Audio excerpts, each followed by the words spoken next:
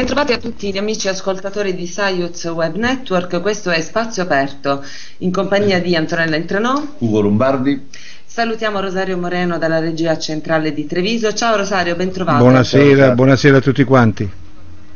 E bentrovato anche a Massimo Bonella, direttore di pianetaogtv.net da Mestre. Ciao Massimo. Buonasera direttore. Eh, grazie per il direttore, potete chiamarmi semplicemente Massimo da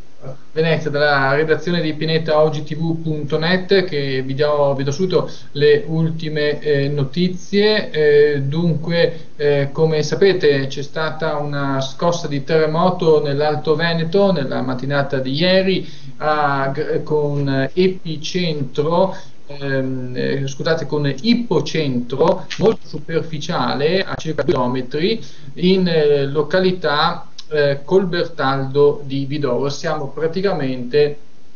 eh, a, eh, a, nord-est della provincia di Treviso, un sisma che si è sentito in tutta la Marca Trevigiana fino a, in località eh, Ponte eh, di Piave. Eh, non solo, eh, nel veneziano qui da noi si sono, spost- sono, hanno cominciato a, um, a, muoversi i lampadari, però non si sono registrate situazioni di, né di panico né di tantomeno danni a persone o a cose. Però a tale proposito, siccome proprio dove c'è l'epicentro, che ricordo magnitudo è stato 3 punto, allora eh, 3, c'è chi dice 3.5 e chi dice invece 3.7, insomma la scossa si è sentita, è stata avvertita distintamente dalla popolazione. Sentiamo a tale proposito, eh, attraverso il telegiornale di Eden TV, eh, cosa ha detto eh, la gente intervistata dal eh, giornalista di questa emittente che trasmette proprio da Colbertaldo, proprio dall'epicentro del terremoto. Allora, solo un attimo, vediamo se la regia qui di Venezia ci dà questo contributo in collaborazione con Eden TV. Solo un attimo.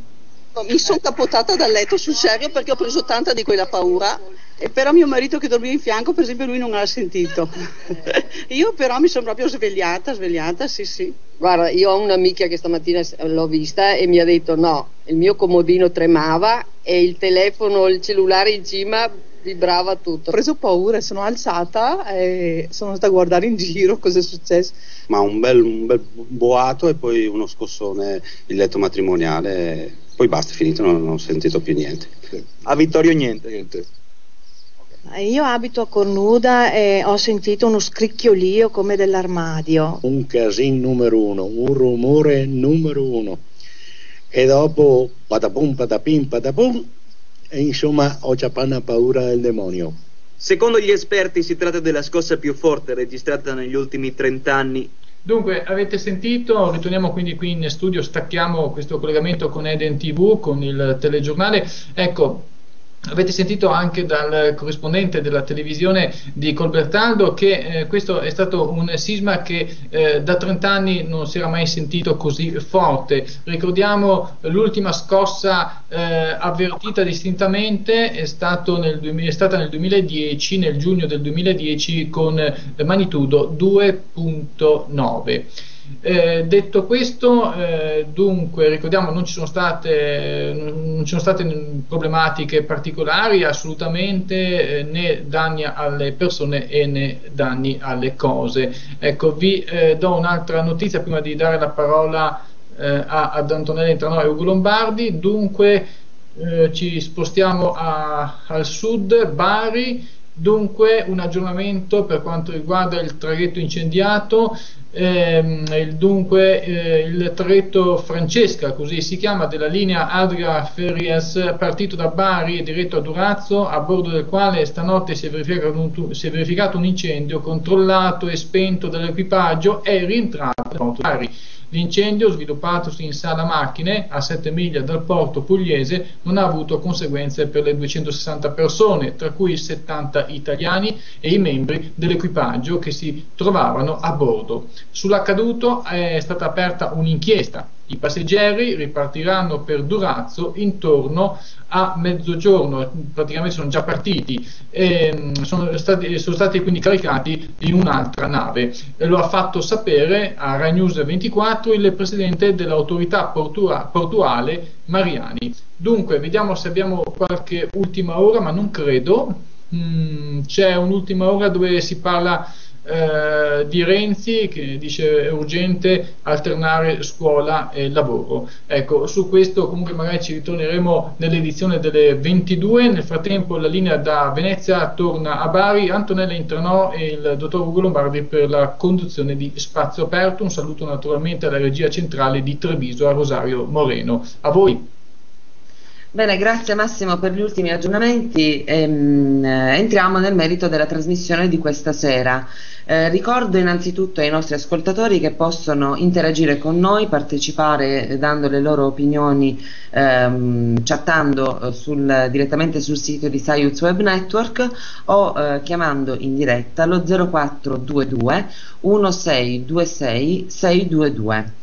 Bene, ospite di questa sera è eh, la dottoressa Sabrina Garofalo, eh, sociologa, docente ehm, a contratto presso l'Università di Catanzaro. Benvenuta. Grazie, buonasera. Grazie per aver accettato il nostro invito naturalmente. Grazie, eh, grazie a voi. Dunque, dottoressa Garofalo, ehm, la, la trasmissione di questa sera nasce da una domanda sostanzialmente eh, tutti noi ci stiamo rendendo conto di quanto stia eh, diventando complicato il vivere quotidiano, soprattutto i rapporti interpersonali eh, stanno diventando davvero molto difficili. Si avverte una, una certa tensione, una tensione sociale molto forte, tanto da indurci a eh, essere un po' tutti sulla difensiva. Quindi la domanda che ecco, nasce e che ha voluto um, caratterizzare la trasmissione di questa sera e che le desideriamo porre, eh, secondo lei, da, dal suo punto di vista, quindi da sociologa, che direzione sta prendendo la nostra società? Cioè, verso quale ehm, assetto ci stiamo dirigendo? Beh, la domanda è difficile da, da declinare in, uh, oggi come oggi, e non lo è eh, per, per, un sociologo, il sociologo non, non, un, uh, non ha capacità di, di, previsione né altro. Eh, io sono, studio e faccio ricerca sui temi delle migrazioni e sui temi della costruzione sociale dell'alterità. E in questo momento, alla luce di quello che sta succedendo, e, io mi sento chiaramente di rispondere rispetto a quelli che sono i miei, mio, i miei studi e la mia ricerca, altrimenti insomma non faremmo la differenza. E, ehm, ne approfitto per, um, e parto da un, un, seminario che abbiamo appena terminato eh, in merito alla, um, a questa che è la settimana contro l'omofobia. Perché la riflessione da cui sono partita oggi a, proprio a, a, parlando di tensioni sociali è come viene costruito il discorso pubblico sui temi della, della, delle differenze in generali come si sta costruendo un discorso pubblico che, eh, in cui la dinamica di potere e di dominio è, è trasversale a tutti gli ambiti.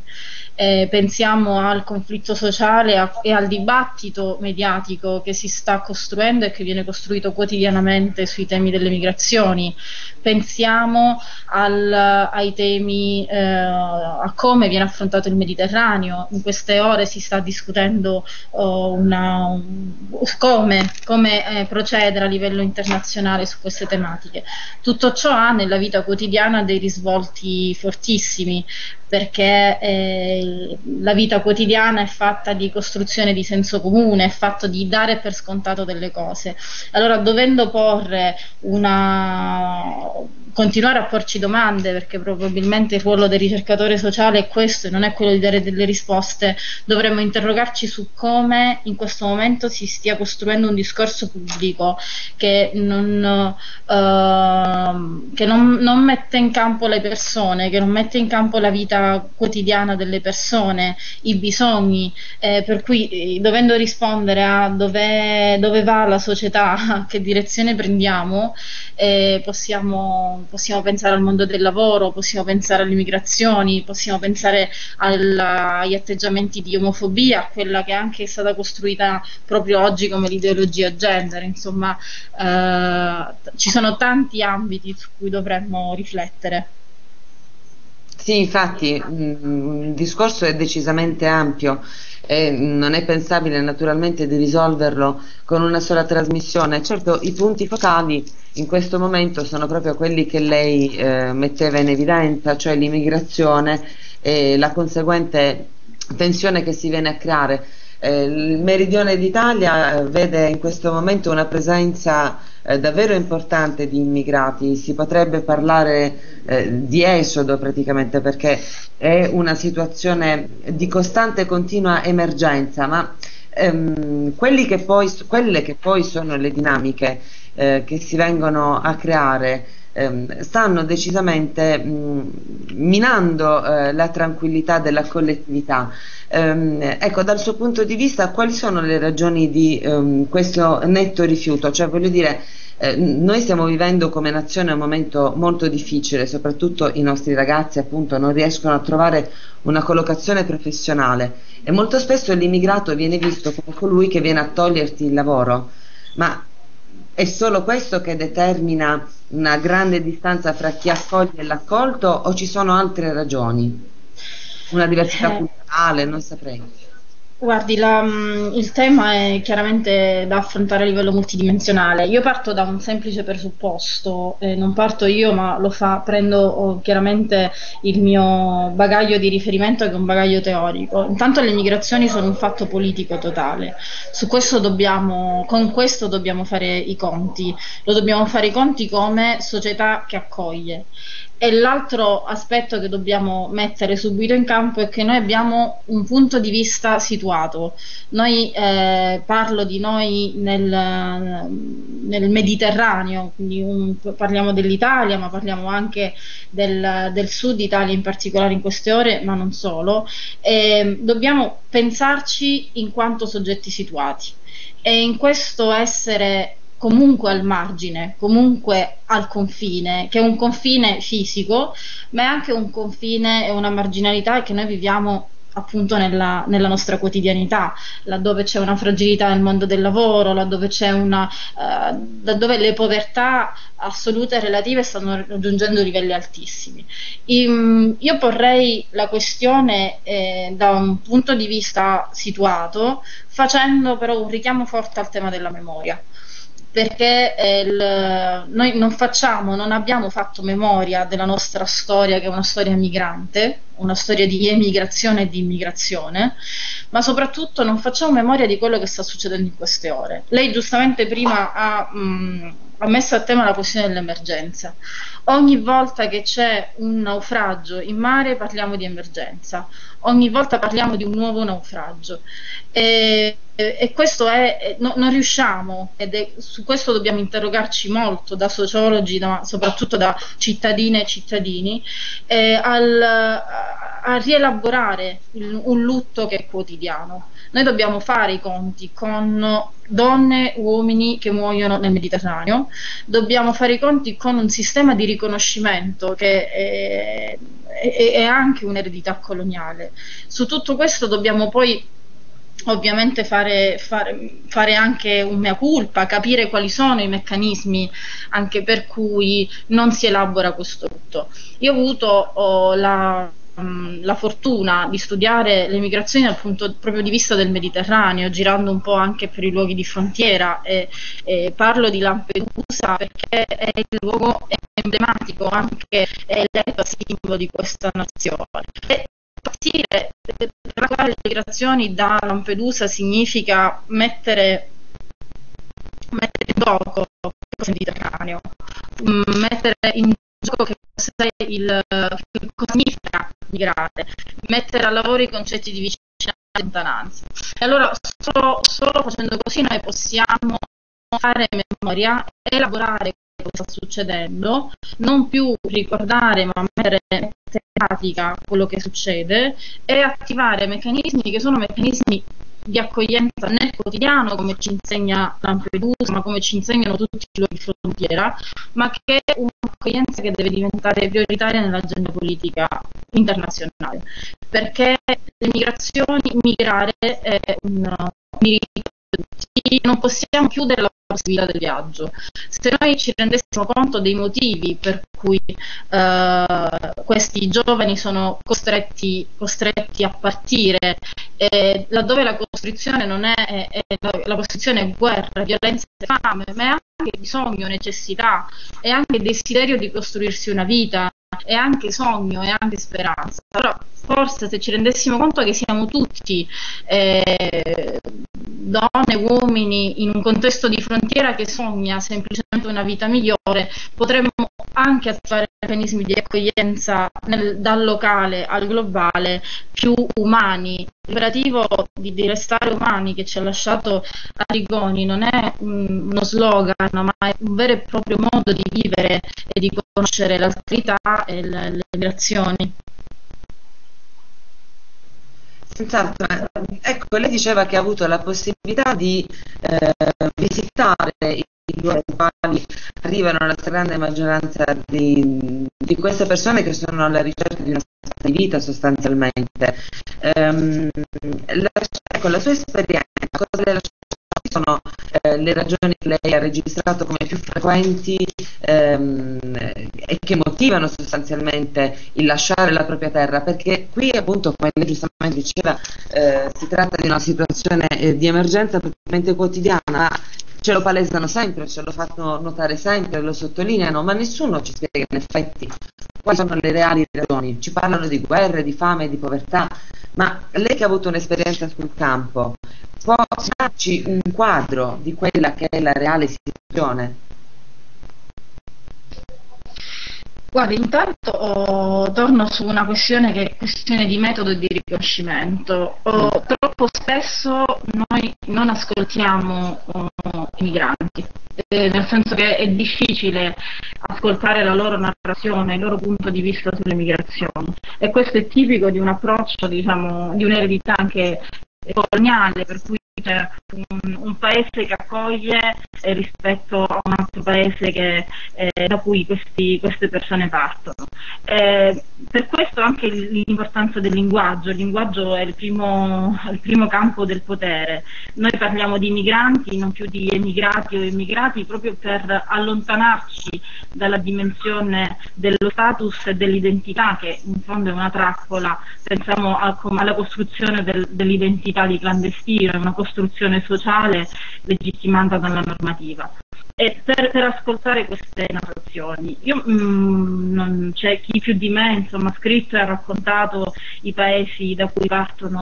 da cui partono i migranti. Sicuramente parliamo di la, la prima parola, ragionando per concetti mente, che mi viene in mente, è quella della violenza, perché eh, comunque abbiamo a che fare con contesti in cui eh, la violenza è trasversale eh, pover- alle povertà. Eh, parliamo di, mi, mi, vengono, mi viene in mente, perché poi quando si parla si, si, si, si, corre il rischio di fare teoria, ma mi viene in mente la, una storia di una giovane donna eh, lampedusa, di, nigeriana costretta a partire per in quanto vittima, vittima di violenza, è morta uh, sulla nave Pilar e questa don- ragazza di 19 anni è seppellita a Lampedusa. E qual era il sogno di Pilar? Quello di scappare dalla violenza e dalla guerra e ce lo dimostra quello che succede in questo momento che sta succedendo e che non, purtroppo non viene raccontato e quindi anche, anche lì le fonti sono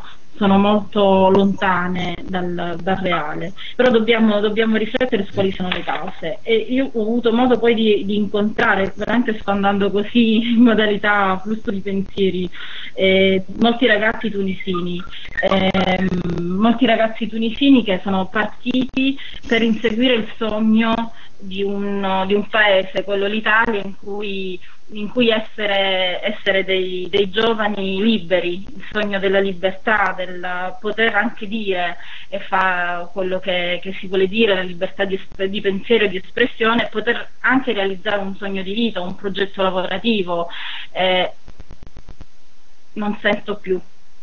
No, no, la stiamo okay, okay. Avevo perso, Stavamo ascoltando un'attenzione. No, perché insomma la domanda... Seguire le... comunque un progetto, un progetto di vita, un sogno, e non, diamo, non diamoli per scontati quelli che sono gli elementi della vita quotidiana, perché molti, quelli che partono sono soprattutto giovani. Io ho incontrato tanti ragazzi che sono arrivati in Italia col sogno di fare il calciatore, perché anche quello è uno dei modelli che noi, che noi portiamo. Non possiamo porci un, da un punto di osservazione che può essere quello del, del, del perché, eh, del pensare alle motivazioni come a, a, a qualcosa di secondario nella narrazione delle migrazioni. No, assolutamente no, proprio per questo era importante mettere in luce quelle che sono le, eh, le, ragioni, perché insomma alla fine i modelli che noi abbiamo esportato sono questi, eh, per cui è umano che un altro essere umano desideri ehm, giungere a quel tipo di, di eh, traguardo. Non, non, è concepibile naturalmente per loro osservare una certa opulenza, una certa agiatezza, anche se molti nostri connazionali, eh, sottolineiamolo, non si trovano in questa situazione. Perché... Infatti parliamo di rappresentazione rispetto anche mediatica a quella che è la vita, la vita in Italia, rappresentazione, comunque parliamo di un concetto che è quello della deprivazione relativa, per cui si, si parte con delle speranze che magari non sono speranze costruite socialmente e mediaticamente, a volte quasi sempre non corrispondono con reale. È anche vero, e questo dobbiamo sempre ricordarlo, che l'Italia è vista come un paese di passaggio il ruolo geopolitico dell'Italia in questo caso è ancora più importante perché eh, siamo in mezzo al Mediterraneo, quando io dicevo dobbiamo essere situate e situati, dobbiamo pensare anche a questo, alla, alla nostra collocazione geografica e di conseguenza politica rispetto a come eh, osservare prima e poi eventualmente proporre le politiche sul, sul Mediterraneo, nel caso di cui stiamo parlando. Certo. Eh, eh, dottoressa, sono eh, Ugo Lombardi, non so se ci siamo presentati prima. Sì. La, eh, la, considerazione che mi viene spontanea è che anche se la nostra nazione è una nazione di passaggio, eh. infatti nella, negli accordi in itinere con la comunità europea mi pare si parli di una distribuzione eh, numerica di un numero di migranti per ogni paese della comunità. Però mi viene in mente di pensare che il flusso migratorio è comunque sempre orientato verso paesi che hanno raggiunto un, un modo di vivere democratico sicuramente diciamo, più avanzato rispetto agli altri. È come se ci fosse un movimento centrifugo, al di là di quelle che sono le motivazioni, guerra o non guerra, c'è un movimento centrifugo laddove la democrazia è riuscita a stabilire meglio eh, le sue fondamenta, perché anche noi siamo un popolo tuttora di migranti. Certo. Allora a questo punto eh, credo che si debba innescare un meccanismo contrario, cioè dobbiamo fare in modo che ci sia democrazia dovunque e questa non si raggiunge soltanto con l'ospitalità, non crede lei? Allora, io mi trovo in questo momento in forte difficoltà nel identificare l'Italia come un paese pienamente democratico, però non è la abbiamo... sua, glielo posso dire. parliamo in tutta sincerità, parliamo di, di modelli di riferimento, eh, chiaramente parliamo, di parliamo anche di diversi, di diversi, tipi e di percorsi democratici che eh, i diversi paesi stanno anche a fatica, con molta fatica compiendo. Sicuramente, ehm, e questo viene dalla narrazione, dai racconti di, di vita che ho potuto raccogliere soprattutto, la possibilità, e si vede ad esempio in alcuni paesi del Maghreb, la possibilità di parlare, la possibilità di esprimersi, di esserci in quanto cittadine e cittadini riconosciuti. Questo non, noi tendiamo a darlo per scontato, sempre se ci poniamo in una dialettica noi loro, però mh, per, no, non diamo per scontato proprio le libertà di base, perché quando parliamo di motivazioni dobbiamo, secondo me, semplicemente anche accostare eh, alla parola motivazione la parola possibilità qual è la uh, possibilità reale di mh, miglioramento, di stare meglio o di stare bene o, si, o, di sopravvivere in base alle diverse situazioni, quella di partire. E allora uh, molto spesso si chiede, si chiede ai migranti um, chi, chi, te la fa fare, sapete c'è, c'è, la possibilità di morire, però chi siamo noi per, per poter chiedere perché lo fai? E magari proprio quelle libertà che noi diamo per scontato, che comunque in questo momento non iniziamo più a dare per scontato, dovrebbero essere eh, anche un ennesimo tema su cui riflettere quando parliamo di motivazioni, di, oppor- di possibilità che poi diventano opportunità, perché la speranza di miglioramento è dettata, è dettata da questo. D'altra parte credo che la posizione dei giovani italiani rispetto a coloro che ehm, arrivano qui dal, dal, sud del mondo sia ormai equiparabile in un certo qual senso. Intendo dire, eh, i nostri ragazzi e le nostre famiglie, perché dobbiamo parlare anche delle famiglie naturalmente, non hanno eh, molte possibilità di scelta oggi come oggi, come eh, gli immigrati non ne hanno nel loro paese. E verrebbe quasi da pensare che noi siamo stranieri in patria perché comunque non riusciamo ad avere un riferimento univoco che sia davvero accogliente, non siamo accolti nel nostro paese. Ehm, questo secondo lei eh, contribuisce a creare quella distanza, quella, ehm, quella, eh, quel rifiuto da parte della società ad accogliere coloro che arrivano da realtà molto molto più complicate?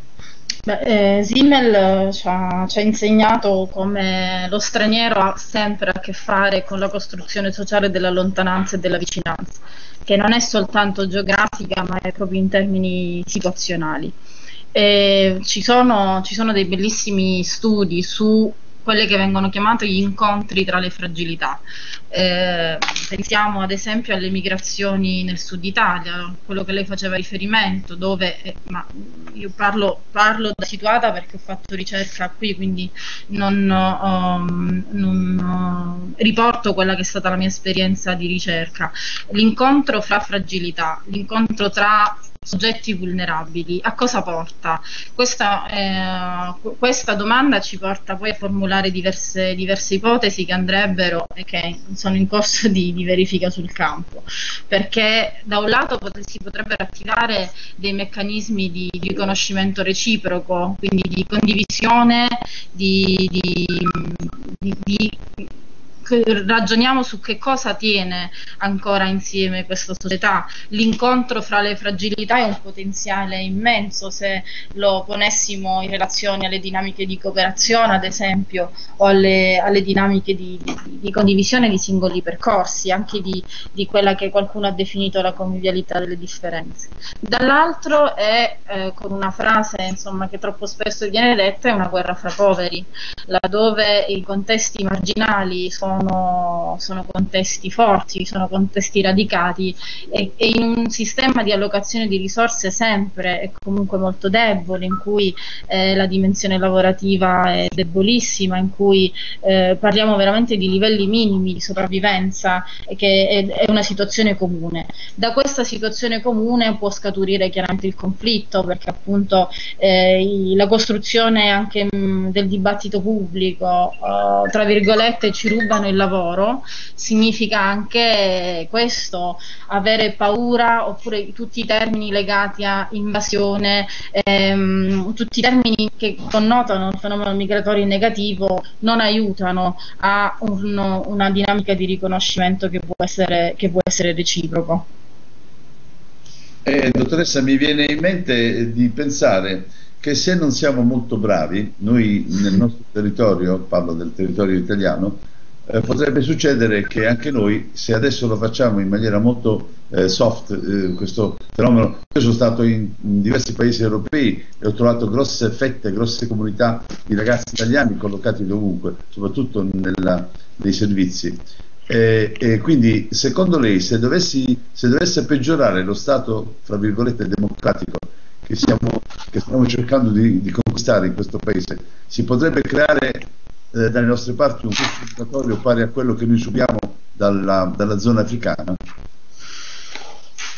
Non, non, so, questo non lo so, non, non, sono, non, mi occupo di questo, quindi direi farei semplicemente opinione. È chiaro che le dinamiche di, di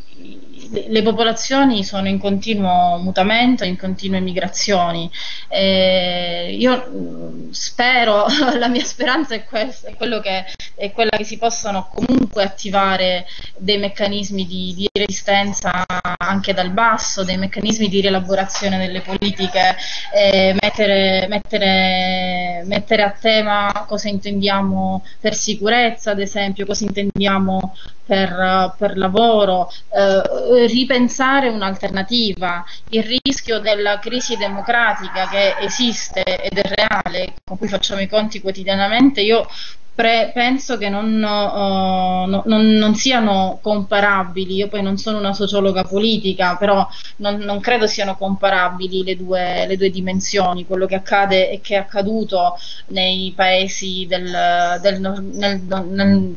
del Maghreb eh, in generale, ma così uh, in, tutto, in, tutte le, le regioni del, del, cosiddetto Nord Africa. Io non credo, noi abbiamo a che fare con altri, altri fenomeni, abbiamo un altro percorso storico-politico, abbiamo un altro percorso geopolitico, per cui sicuramente dobbiamo stare attenti, dobbiamo riconoscerci e attivare dei meccanismi veramente di, di rielaborazione anche politica che possono venire dal basso, possono venire da nuove forme di partecipazione, su questo ci dobbiamo interrogare.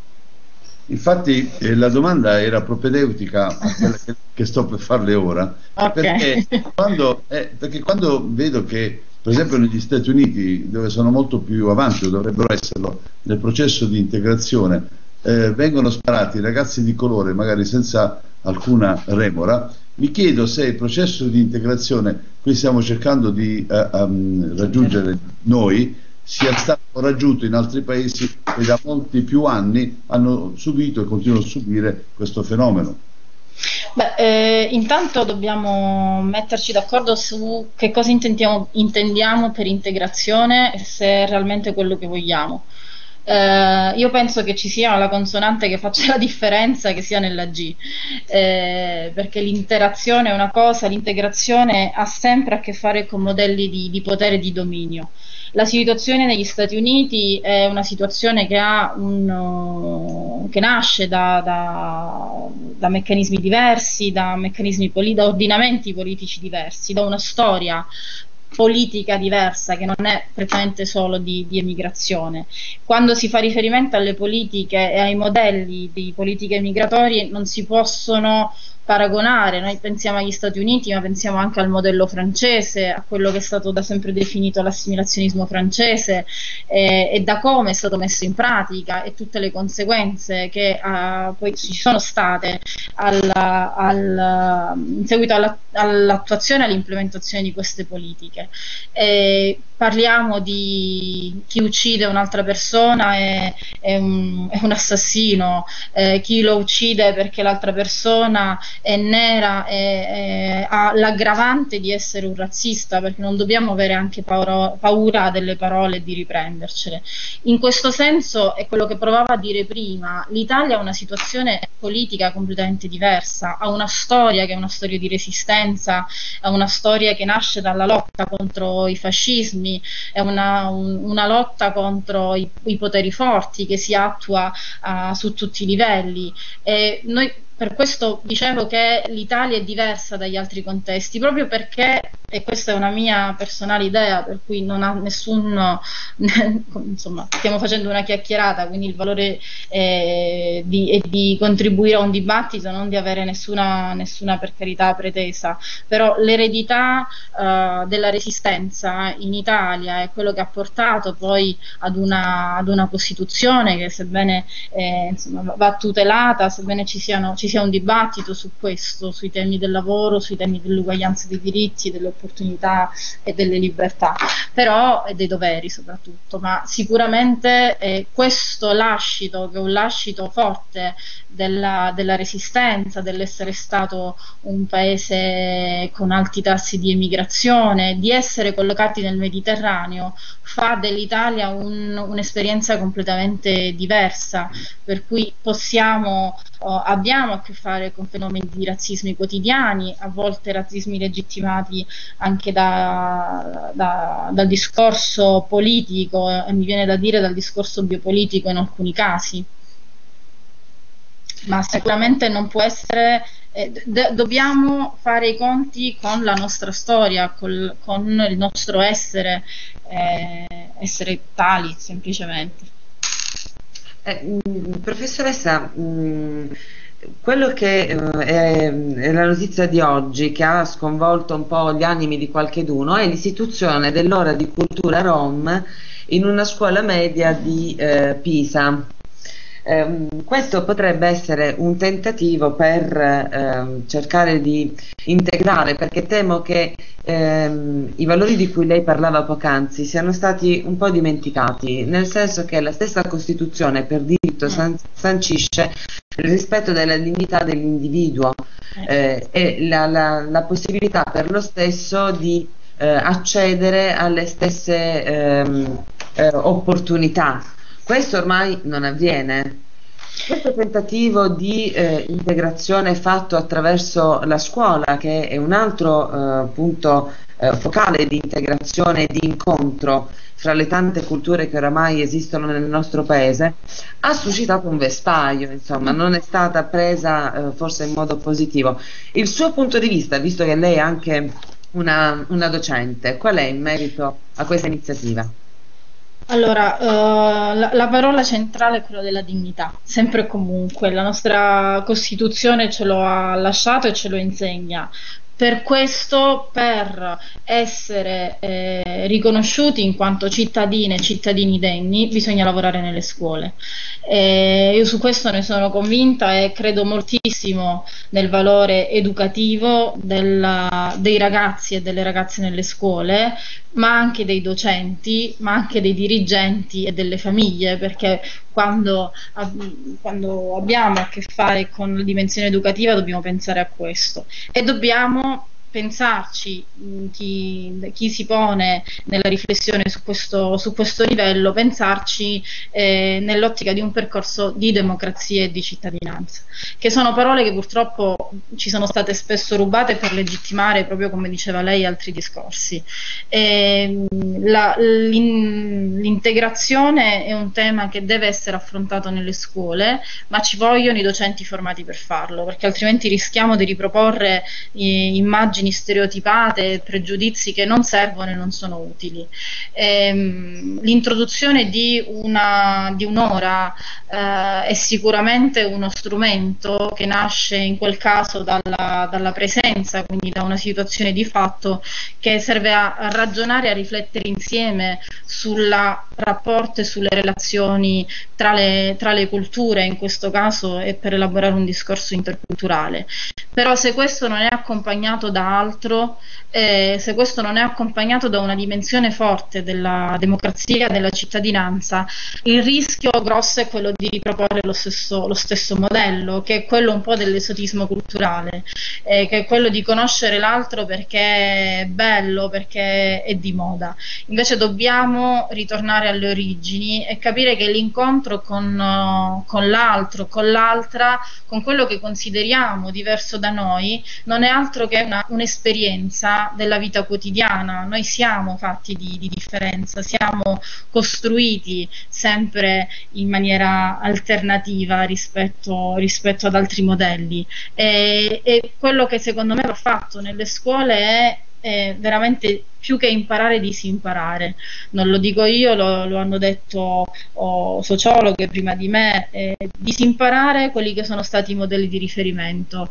disimparare eh, un certo modo anche di pensare l'educazione, disimparare come è stato costruito il dibattito interculturale in Italia, eh, riproporre la dimensione della memoria, riproporre la narrazione di quelli che sono stati sempre esclusi dalla, narraz- dalla narrazione pur se l'oggetto soggetto e il soggetto coincidono, quindi eh, ascoltare i migranti, ma soprattutto fare esperienza. Esperienza significa passare attraverso, significa ehm, formarsi rispetto a, a, rispetto a, quella che è la, la, la, la, vita quotidiana che oggi viviamo, nel nostro caso quelli di essere una, una popolazione di, eh, di migranti riappropriandoci del vero significato delle migrazioni, che non è passare da un paese all'altro, ma è anche mh, allontanarsi da un modello, da un modello che, che, che, può essere un modello di, di, riferimento e che non sappiamo se, se, è quello giusto, cioè rimetterci in discussione rispetto ai diversi modelli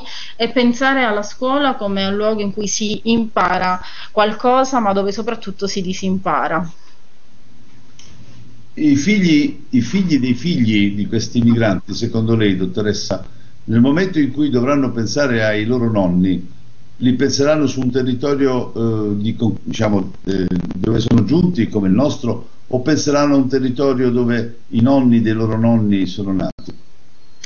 Penseranno ai nonni come dei migranti, penseranno ai nonni che hanno un vissuto che si costruisce in uno spazio migratorio che è fatto dalla loro storia nei paesi di partenza, dalla, dalle radici, dalle tradizioni, dai modi di fare eh, che vengono poi in un, in un rapporto intergenerazionale tramandati. Penseranno ai loro nonni un po' spaesati probabilmente nei paesi di accoglienza, immagineranno eh, li ricorderanno confusi e questi non, eh, mi vengono sempre dai racconti che ho avuto modo di ascoltare dalle persone che ho incontrato, a questi nonni eh, imbarazzati rispetto ad esempio alla dimensione linguistica, a come, eh, a, a come fare la spesa al supermercato. C'era un'intervista molto, molto carina che fece ad una ragazza di 12 anni che veniva dall'Egitto in cui diceva mia madre era, era buffa perché non, non riusciva a, a, a dire alla signora signora del supermercato che voleva comprare, comprare, comprare delle uova. Eh, li ricorderanno come un nipote ricorda dei nonni, quindi con una dimensione umana molto forte e trasversalmente attraversata da, dalla memoria migratoria, dalla memoria migrante. E se per ipotesi io ho con altri 50 amici desiderosi di conoscere eh, la vita della costa libica, eh, impazzissi, eh, sì, perdessi, perdessi, la cognizione. E quindi domani magari mi imbarcassi su una nave, su un barcone e mi dirigessi verso la costa libica e riuscissi magari a sbarcare in Libia, secondo lei cosa succederebbe? diciamo che questo discorso eh, sicuramente lo, lo, pensiamo soltanto nelle ipotesi perché al momento non è possibile fare questo tipo di esperienza. E, ehm, poi la Libia è un paese che veramente conosciamo pochissimo, di cui si conosce poco, di cui è stato costruito un discorso eh, la, cui, la, cui, narrazione è stata sempre veicolata eh, da un'immagine che è dapprima un'immagine coloniale, poi un'immagine di eh, un paese amico,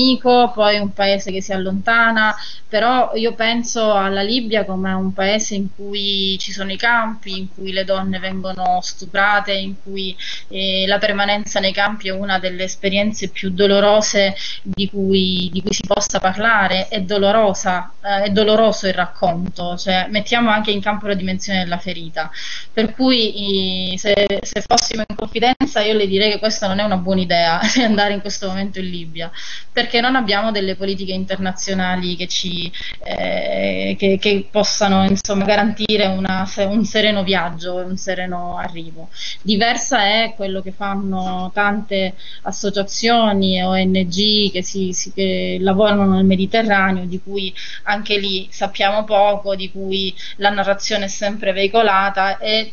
probabilmente questo è uno sforzo che dovremmo fare anche come, eh, come studiosi, quello di, di, raccontare e farci raccontare da chi ne ha la possibilità la realtà dei paesi di cui stiamo parlando. Quindi, non abbiamo delle politiche nazionali adeguate, non abbiamo delle politiche internazionali europee adeguate, l'informazione è eh, decisamente deviata, pilotata perché eh, l'immigrato appare sempre soltanto come una mosca che ci dà fastidio e quindi conseguentemente da schiacciare o da eliminare col DDT, per cui all'individuo quali strumenti rimangono per tentare di sopravvivere?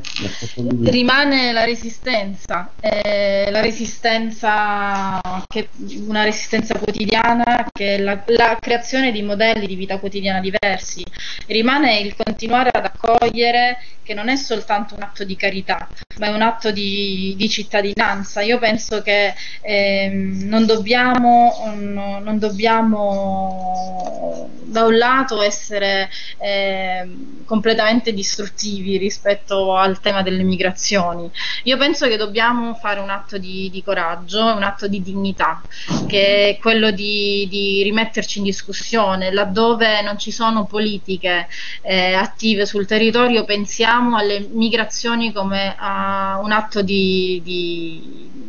di, di resistenza e di creazione di modelli alternativi. Eh, la Calabria ha fatto esperienza di, modelli, paesi che sono diventati paesi eh, con le, le, politiche di ripopolamento ad esempio dei centri storici, eh, ma non solo, ci sono tante, tante cose che si possono fare, ehm, anche capire cosa sta succedendo, capirle, capire cosa si nasconde dietro la politica della, eh, dell'emergenza, capire come viene gestita questa emergenza, perché purtroppo eh, abbiamo a che fare con un mondo, io adesso non ho ancora avuto modo di leggere ad esempio tutti gli atti di un'inchiesta come quella di Mafia Capitali in cui un grosso, un grosso pezzo è costruito sulla gestione delle, dell'emergenza dei migranti. Tanto si può fare, eh, si può fare se si ha, se si ha la, semplicemente il desiderio di riconoscersi nel, nel Mediterraneo, soprattutto in quanto siamo tutti fragili, in quanto siamo tutti al margine, questo non, non ce lo dobbiamo mai dimenticare. Infatti abbiamo, dovremmo ispirarci alla Carta dei diritti eh, internazionali, mi pare eh. che se non ricordo male c'era un certo eh, Giovanni Senza Terra nel 1200 che stabilì i primi diritti dell'essere umano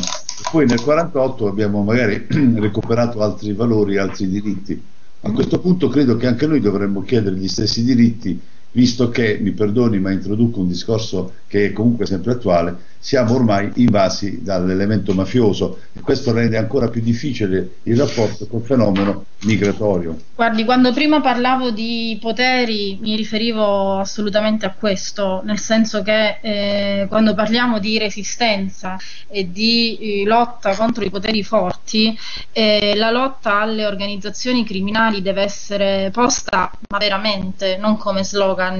nel progetto politico eh, che riguarda le migrazioni. Noi non siamo così ingenui da pensare che ad esempio dietro la, la, ci sono differenze anche di reato ma anche concettuali tra quello che viene definito smuggling, il traffico e la tratta. Sono uh, tre concetti completamente diversi, però dobbiamo ricordarci che dietro che non è possibile che dietro non ci siano delle organizzazioni criminali e il fatto di avere dei contesti in Italia con oh, da un lato i controlli di territorio, controllo del territorio, quello che autrici come Renate Siebert ma anche come Umberto Santino hanno definito signoria territoriale, il controllo dei territori che è un controllo sul, sulle risorse, sulle persone, su quello che succede nei territori ed è totalizzante. Dall'altro lato dobbiamo sempre tenere presente che la forza delle organizzazioni criminali è connivenza e convivenza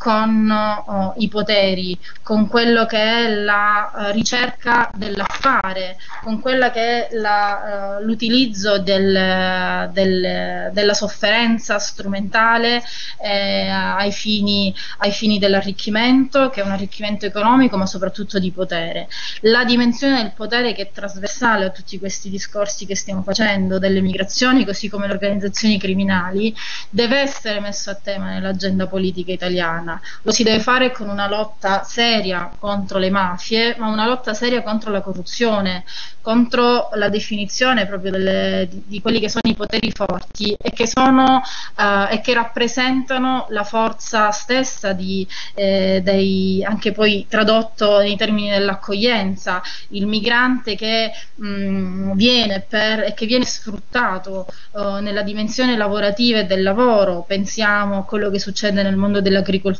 ma non solo, uh, pensiamo, io mi sono occupata soprattutto di donne e migrazioni, a tutto l'elemento della... Um,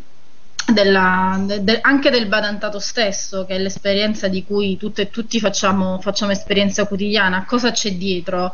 E chiaramente dobbiamo, dobbiamo oh, in quanto cittadine e cittadini prima e studiosi poi, porre la questione in termini di, di, di poteri e in termini di accoglienza, perché la costruzione e il riconoscimento dell'altro si vive se si è in un contesto di libertà. Adorno ci diceva che non esiste emancipazione senza emancipazione di una società. E allora rispetto soprattutto all'Italia in quanto collocata e situata nel suo percorso storico, ma anche collocata geograficamente, la dimensione delle libertà, dell'emancipazione, delle liberarsi, eh, eh, prendendo il significato della parola stessa emancipazione, liberarsi dalle forme di dominio. Finché non facciamo i conti con tutto questo, purtroppo non possiamo, non possiamo definirci completamente assolutamente democratici. Molto bene, infatti giustamente quando si parla di immigrazione il pensiero um, corre subito al, al cittadino eh, nordafricano o comunque medio orientale, in realtà trascuriamo un'immigrazione che è giunta dall'est dell'Europa e che ha comunque eh, colmato un vuoto un vuoto sociale, cioè quello dell'assistenza agli anziani o, o dell'assistenza alle persone portatrici di handicap. Ancora una volta la presenza di, eh, di, di questi immigrati ha messo in luce una mancanza gravissima delle istituzioni perché se dobbiamo sperare che arrivi qualcheduno da un paese dell'estero a, eh, ad accudire i nostri anziani o i nostri portatori di handicap vuol dire che il paese nel quale viviamo, che riteniamo moderno, avanzato e democratico, alla fine poi più di tanto non lo è, perché se non ci fossero queste figure non so che, che cosa ne sarebbe dei nostri anziani o delle nostre persone in difficoltà eh, fisiche o psichiche. Eh, però se ne parla, non è un caso che se ne, se ne possa parlare di meno, semplicemente perché, uh, e lo dico in maniera brutale, mh, mm, a noi le badanti servono. Come eh, il pane, direi, esatto. Per Come cui no, il fatto di costruire un'alterità eh, e non riconoscerla in quanto oh, comunque soggettività migranti deriva anche da questo. Nel momento in cui lo straniero ci serve, siamo pronti ad accoglierlo, che poi dobbiamo anche capire come eh, accoglierlo, perché se poi andiamo eh, ad ascoltare queste donne, eh, riscopriamo dei, dei, percorsi di vita che sono percorsi di, di immane sofferenza, sono percorsi di tra virgolette emancipazione che passa attraverso uh, una maternità vissuta a distanza, un abbandono di un posto di lavoro, ehm, un trasferimento del lavoro di cura da un paese all'altro che è mh, qualcosa che noi diamo per scontato, ma tutta la tematica del lavoro di cura, che è una tematica uh, che a livello proprio epistemologi- eh, di epistemolo- epistemologia femminista è qualcosa di molto, molto forte, ma se non ci rendiamo conto molte volte che le nostre badanti sono eh, giocatrici di pallavolo, eh, sono, sta- sono oh, dirigenti di un'azienda. Noi tutte queste cose le diamo per scontato. Non ho fatto esempi a caso, sono esempi che sono vengono fuori da una ricerca, esatto. Certo che ho avuto modo di condurre proprio sul lavoro di cura, cioè noi abbiamo a che fare con delle, eh, con delle persone, eh, forse dobbiamo, oh, uh, dal lago ci parla delle non persone quando pensiamo ai migranti, ma dobbiamo riconoscerle come persone che hanno una dimensione privata, una dimensione pubblica, riprendendo insomma le categorie care a chi studia queste cose, la sfera privata, la sfera pubblica, la doppia presenza e pensare anche a come eh, queste donne siano costrette a vivere una maternità a, a distanza, eh, di come eh, molto spesso le motivazioni alla partenza sono legate ai processi di formazione e di liberazione delle figlie e dei figli. E, e chiaramente quando dicevo le migrazioni sono un fatto politico totale, intendevo anche, anche questo, pensando all'esperienza delle donne migranti impegnate nel lavoro di cura, eh, dobbiamo mettere in relazione i motivi della domanda anda e i motivi dell'offerta, se ragionassimo in termini di mercato, anche se è un linguaggio che non mi appartiene, però noi siamo in un sistema di welfare uh, assolutamente in crisi, uh, per cui è necessaria, lei diceva prima come il pane, perché siamo veramente in situazioni tan- talmente di fragilità che la necessità di un aiuto, e non a caso è un aiuto straniero perché poi c'è un costo, possiamo chiedere una disponibilità H24, il lavoro di cura è un lavoro totalizzante, è un lavoro 24 ore su 24, è un lavoro di corpi, di prossimità, di intimità, è un lavoro duro e, e noi lo chiediamo a, a, delle donne che sono uh, evidentemente disposte a farlo proprio perché in virtù di quei processi di democratizzazione, di libera, libertà e liberazione a cui facevamo riferimento prima e che sono comuni a tutte le esperienze migratorie. Di sicuro è l'esperienza, io mh, è un, è un, sono delle le storie di vita delle donne impegnate nel lavoro di cura, secondo me sono quelle che servono di più per mettere al lavoro il concetto di eh, riconoscimento dell'alterità nella vita quotidiana. Quindi, ehm, in buona sostanza, ehm, per sopperire a tutte le mancanze che lo Stato in cui viviamo eh, ci propone, perché alla fine non ci sono, ripeto, né gli strumenti né le politiche adeguate e adatte ad affrontare e a sostenere la situazione di emergenza che stiamo vivendo, diciamo che mh, da un certo punto di vista dobbiamo essere pronti ad una riorganizzazione sociale che mh, metta in campo le abilità e i talenti di chiunque di noi perché mi pare di capire che quello dell'immigrazione sia un business che fa gola a parecchi eh. perché non è solo Roma capitale ci sono diverse eh, inchieste in corso eh, volte proprio ad accertare eh, la compromissione eh, della malavita organizzata in qualunque forma associativa essa sia, che sia mafia, andrangheta, andrangheta, Sacra Corona Unita, quello che vogliamo, Camorra, quello che vogliamo. Ognuna di loro ritengo... Le mafie transnazionali anche. Certo, non dimentichiamo certo. che mentre, mentre, magari facciamo fatica a mettere in campo delle politiche transnazionali, le organizzazioni criminali lo hanno fatto lo hanno già fatto a partire dal narcotraffico, a partire da, fino ad arrivare al traffico delle persone, della tratta e su questo purtroppo forse non ci sono neanche i mezzi investigativi adatti perché dobbiamo pensare anche a questo. Di sicuro le mafie, e parliamo di mafie in generale proprio per intendere il mondo a cui lei faceva riferimento prima, hanno sempre a che fare con le situazioni di, di, di fragilità e di potenziale arricchimento lo è per i terremoti, ne abbiamo ascoltato prima, lo è per uh, le stragi, lo è sicuramente per uh, poi quando si parla anche di, di, questo nella vita quotidiana è importante di onore e di forza delle, delle mafie, beh, ci sono basta, queste persone eh, hanno a che fare con la vita e con la morte e con i sogni anche dei migranti. È il parastato, è lo stato parallelo che funziona meglio eh, dello stato ufficiale. Eh beh, eh sì, perché se, se chi è disoccupato, purtroppo sì ai noi, ma in un certo qual senso ce la cerchiamo, eh? perché se continuiamo a fare gli struzzi, se continuiamo a mettere la testa sotto la sabbia senza capire qual è il vero problema, il vero problema non è l'immigrato in quanto tale, è un disperato come noi, il vero problema è il vuoto totale istituzionale, eh, giuridico, quello che vuole lei, è il vuoto totale, è quello che rende difficile l'equilibrio sociale, perché la tensione che si sta creando è fortissima, si taglia col coltello e purtroppo è destinata eh, a eh, diventare sempre più grave, sempre più onerosa per noi cittadini che continuiamo a gran voce a chiedere ma che poco riceviamo in cambio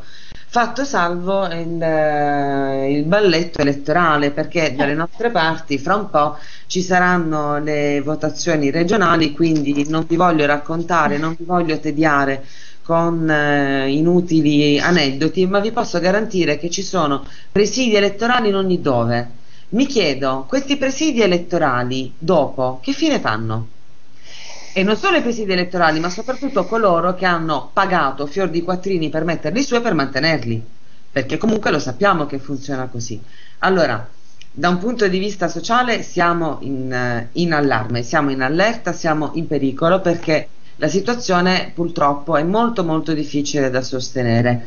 Bisogna cercare di contenere. Allora, eh, da sociologa quali sono gli strumenti che possiamo mettere in campo per contenere questa emergenza? Beh, possiamo, possiamo ripartire